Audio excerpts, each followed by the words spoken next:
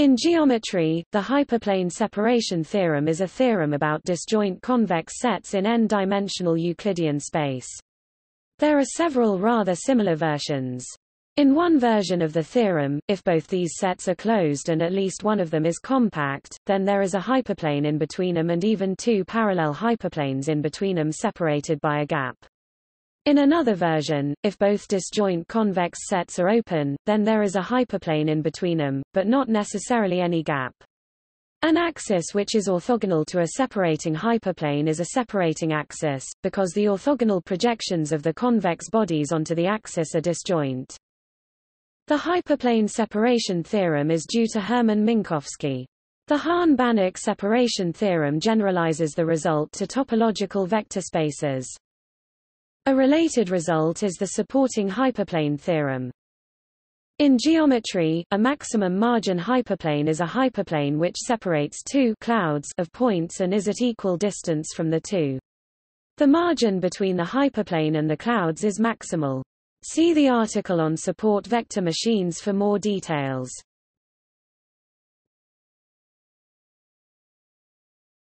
Topic: Statements and proof.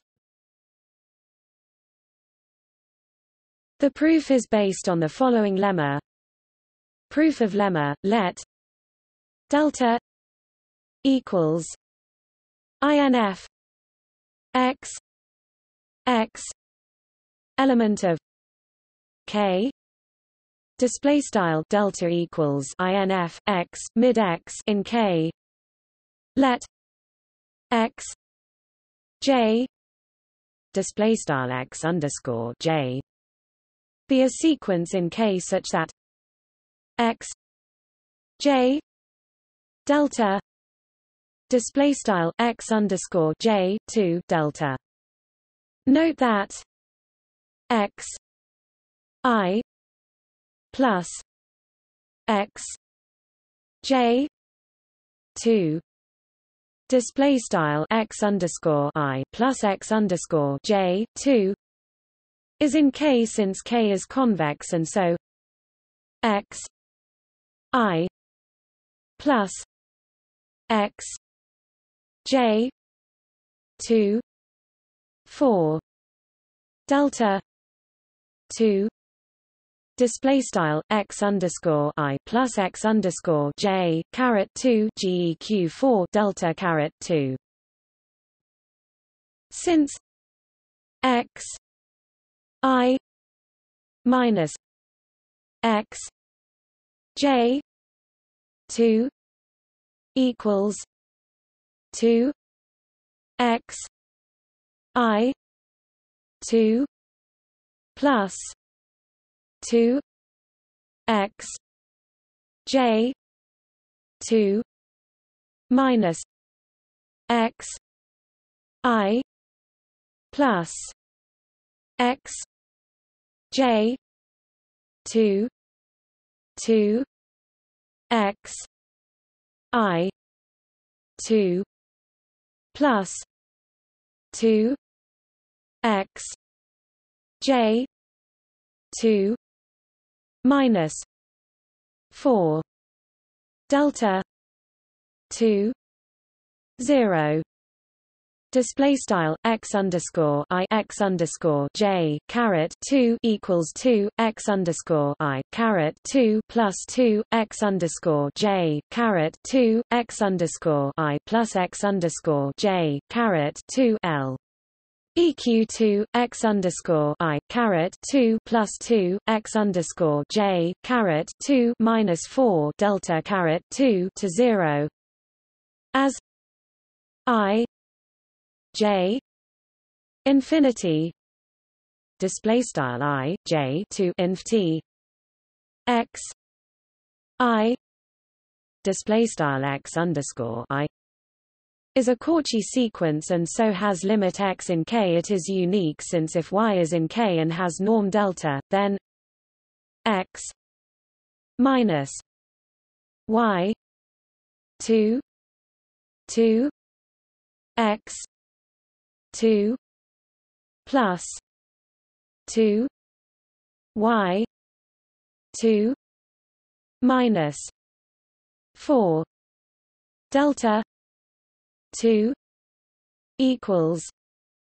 0 display style x y caret 2 leq 2 x caret 2 plus 2 y caret 2 minus 4 delta caret 2 equals 0 and x equals y. White medium square. Display style square. Proof of theorem. Given disjoint non-empty convex sets A B let k equals a plus minus b equals x minus y x element of a y element of b Display style k equals a plus b equals x y mid x in a y in b. Since minus b display style b is convex and the sum of convex sets is convex k is convex by the lemma the closure. K. Display style overline k. Of k which is convex contains a vector v of minimum norm. Since k. Display style overline k. Is convex for any n in K, the line segment. V plus T n minus V zero T one display style v plus t and v 0 leq T leq 1 lies in k display style overline k. And so v 2 v plus t n minus v 2 equals v 2 plus 2 t v n minus v plus T two N minus V two Display style v caret two leq v plus t and v caret two equals v caret two plus two t Langle v nv rangle plus t caret two nv caret two for 0 t1 display style 0, we thus have 0 2 v n minus 2 v 2 plus t n minus v 2 display style 0 leq 2 Langle v n rangle minus 2 v caret 2 plus t n v caret 2 and letting t 0 display style t to 0 gives n v v 2 display style Langle n v rangle geq v caret 2 Hence, for any x in A and y in B, we have x minus y v v 2 display style Langle x y v rangle geq v caret 2.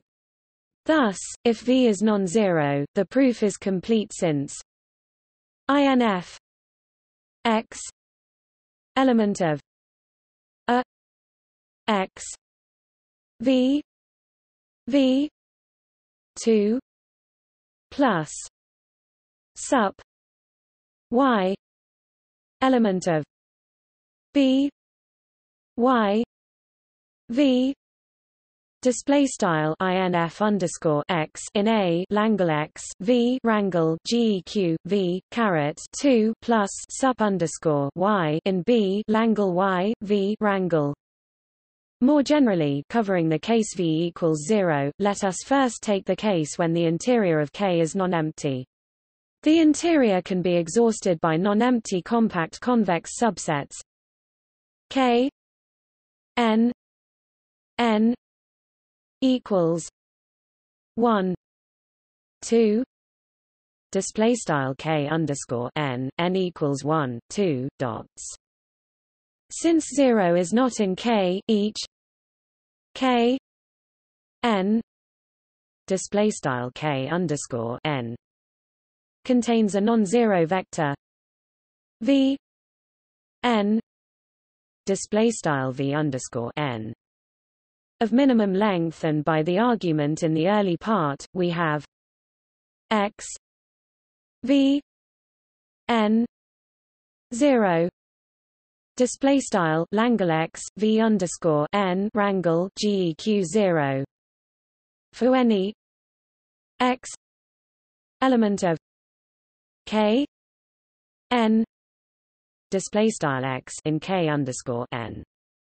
We can normalize the V N display style V underscore N S to have length 1 then the sequence V N display style V underscore N contains a convergent subsequence because the n-sphere is compact with limit V, which is non-zero. We have X V zero display style Langle X V rangle GEQ zero for any x in the interior of K and by continuity the same holds for all x in K we now finish the proof as before. Finally, if K has empty interior, the affine set that it spans has dimension less than that of the whole space. Consequently K is contained in some hyperplane V equals C display style Langle CDOT V rangle equals C Thus x v c display style Langle x v rangle geqc for all x in K and we finish the proof as before. White medium square display style square the number of dimensions must be finite.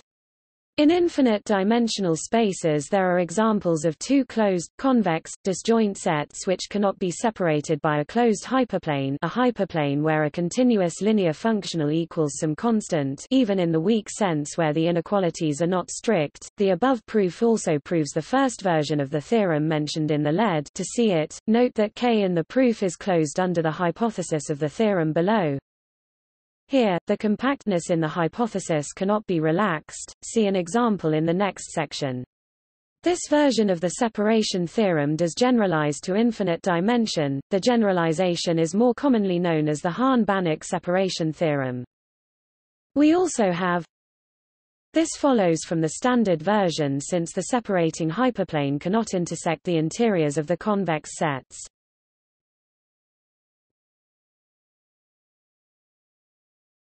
Topic: Converse of theorem. Note that the existence of a hyperplane that only separates two convex sets in the weak sense of both inequalities being non-strict obviously does not imply that the two sets are disjoint. Both sets could have points located on the hyperplane.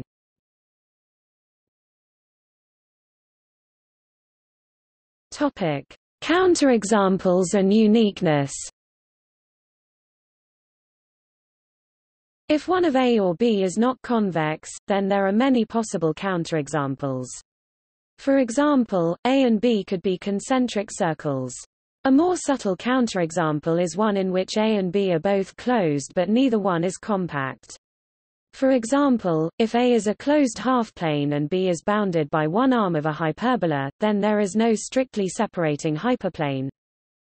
A equals x y x 0 display style a equals x y x leq 0 b equals x y x greater than 0 y 1 x display style b equals x y x greater than 0 y geq 1 x Although, by an instance of the second theorem, there is a hyperplane that separates their interiors, another type of counterexample has A compact and B open.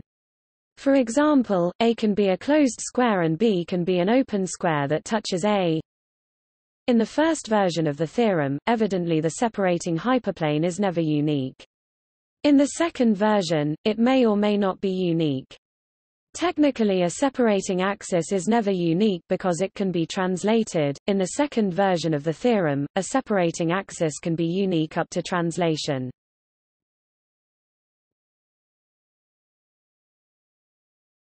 Topic: Use in collision detection. The separating axis theorem (SAT) says that Two convex objects do not overlap if there exists a line called axis onto which the two objects' projections do not overlap. SAT suggests an algorithm for testing whether two convex solids intersect or not. Regardless of dimensionality, the separating axis is always a line. For example, in 3D, the space is separated by planes, but the separating axis is perpendicular to the separating plane. The separating axis theorem can be applied for fast collision detection between polygon meshes. Each face's normal or other feature directions is used as a separating axis, as well as the cross products. Note that this yields possible separating axes, not separating lines planes. If the cross products were not used, certain edge-on-edge non-colliding cases would be treated as colliding. For increased efficiency, parallel axes may be calculated as a single axis.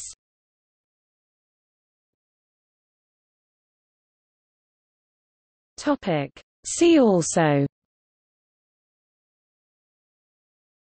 Dual cone. Farkas's lemma. Optimal control. Notes